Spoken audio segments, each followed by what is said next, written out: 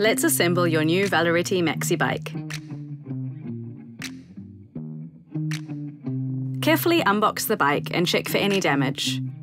The main box contains your additional accessories and a toolkit for the assembly.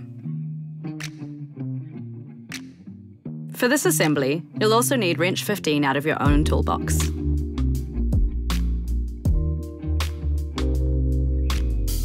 Each pedal has a designated side. The left pedal has little stripes on the middle, and the right pedal is flat.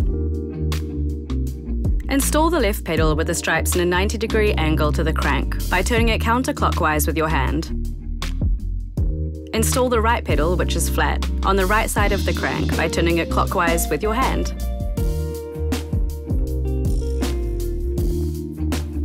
Once the pedals are straight and twisted onto the crank, firmly secure them with a wrench 15.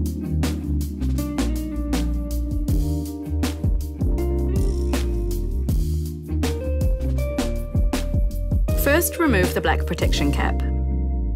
Install the handlebar and set it to your preferred height. The safety marking should always be inside the frame and not visible. Use Allen key 6 to tighten the bolt firmly. To loosen the bolt on the front of the handlebar stem, use Allen key 6 once more. You can now adjust the angle, retighten it firmly, and check if it's secure. Lastly, add the protection cap.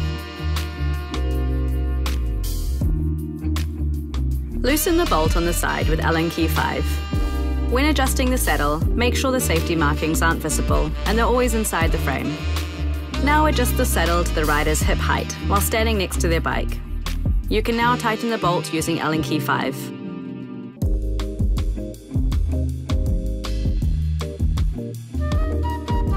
If you want to add training wheels, first take the wheel nut and metal ring off. Put the training wheels on the axle against the locking plate. Put the metal ring and wheel nut on the axle against the training wheel and tighten again. Then do the same for the opposite side. Note that training wheels are ideally mounted slightly above the ground, so they only give support if the bike loses balance. Now the bike is ready to hit the road. Have fun and let us know if you need any help.